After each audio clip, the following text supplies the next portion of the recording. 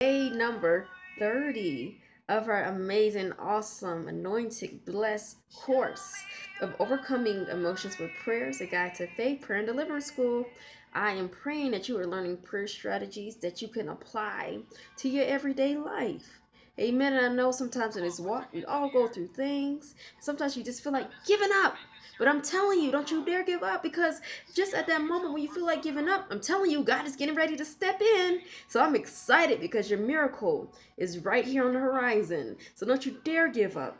Don't you dare give up. And I believe that it's a blessing at the end of this course with your name on it. So I thank you. I thank you. I thank you for this you know, your prayers, your support for sowing into this ministry. I'm telling you, hallelujah. If you receive a prophet in the name of a prophet, you will receive a prophet's reward. So I believe that there's a prophet's reward for you at the end of this course. Amen. So today we are going to talk about being exhausted. Don't you dare give up. Don't you dare give up. Remember, we're going to fight the good fight of faith, right? We're going to keep fighting. You know, even when you feel like you don't have the strength to go on, I see the Lord carrying some of y'all right now. You know, you ever heard that uh that poem or that, that story where it was uh the Lord's footprints? And it was you know one it was once let me see I'm messing up. God help me Lord Jesus.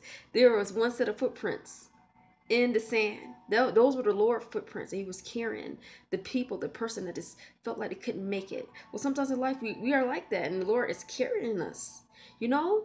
So God says in His word that He will give strength to those who don't have no might. Amen. And the word also tells us don't get weary in well doing because at the right time we will reap a harvest if we faint not. So don't you quit. Don't you give up. I'm telling you, your blessing is right here. Some of y'all are just a shout, hallelujah, away from your breakthrough. Don't you dare give up.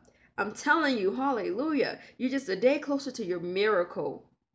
So you better praise God today I break exhaustion off of you in the name of Jesus. I break the spirit of weariness off of you in the name of Jesus. And I thank you, Holy Spirit, just for endurance, God. I thank you, God, for um, that we will persevere, Lord God. I thank you, Lord God, that we keep on pressing towards the mark of the high call of God in Jesus Christ, God. God, I thank you that we will keep going forward, Lord God, and not look back, God. God, I thank you that you're doing a new thing in our lives, Lord God. God, I thank you that you're making the old things new, God. God, I thank you that you're making a highway, God, in those desert places, God. That every dry uh, pool in our lives, Lord God, you just bringing the water and an abundance of rain upon it. God, I thank you just for the times of refreshing. God, I thank you, Lord God, that you're faithful, God, that you are merciful, God, and God, that you're gracious. God, I thank you for your love. God, I thank you for your protection. God, I thank you, Lord God. Just be grateful today. Be grateful. You're going to look back on this time.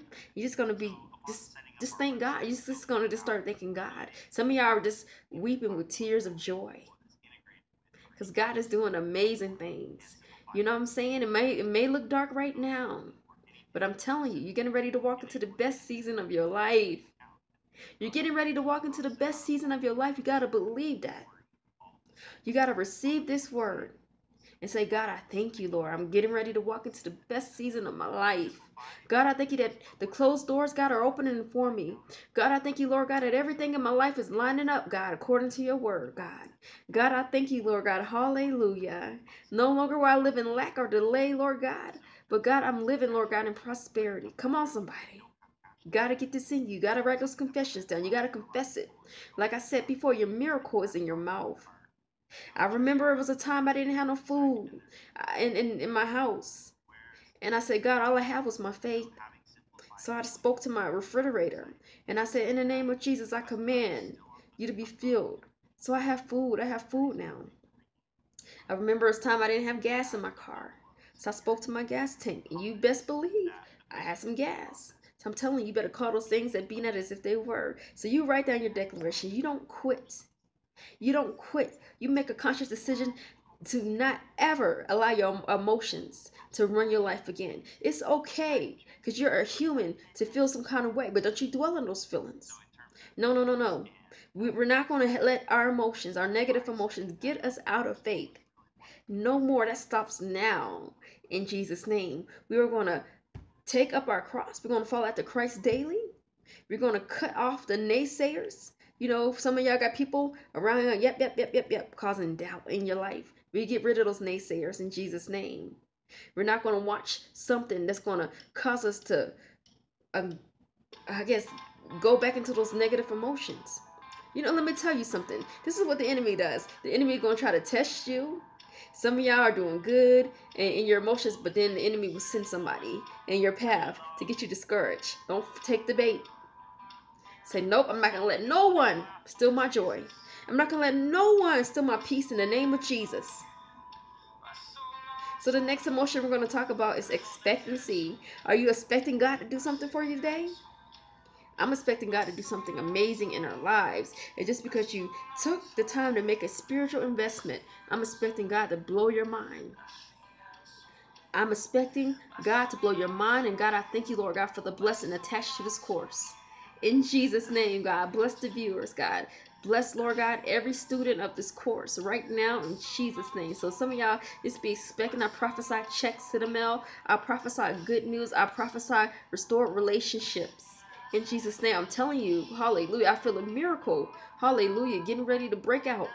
In Jesus' name, I'm excited.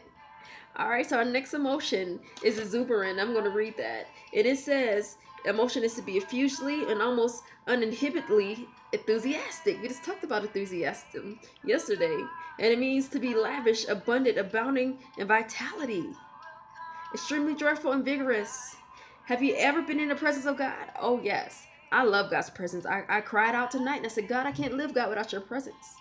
When God don't take your presence, God away from me. God, I have to feel your fire every single day. I can't live, God, without your fire. Lord God, I need your I need your presence more than I need, you know, other things. That's real talk. Hallelujah. You know, that's what I really feel. I feel exuberant in God's presence. It's a refreshing. You know, I I, I can't explain it. It's just wonderful. Everything I need comes from. The ideas to generate wealth.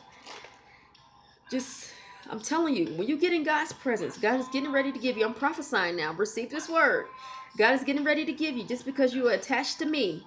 Hallelujah. The anointing is tangible. I'm telling you. Just because you're attached to me, you're connected to me somehow.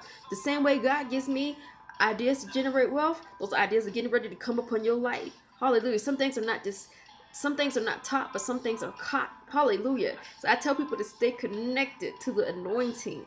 Hallelujah. And this is real talk. This is real. When I get in God's presence, God gives me ideas. Hallelujah. I would never thought in a million years that I would be writing books. I would never thought in a million years I would be doing a monthly magazine for the ministry that the Lord has entrusted me with while I'm on this earth.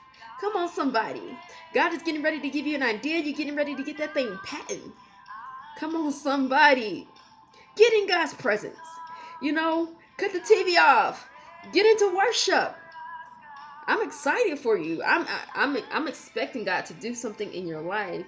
Some Tell me at the end of this course, you're going to be teaching seminars. You're going to be having speaking engagements. You're going to be testifying how God brought you out, how God healed you in your emotions. So I'm excited for you. I'm excited for you.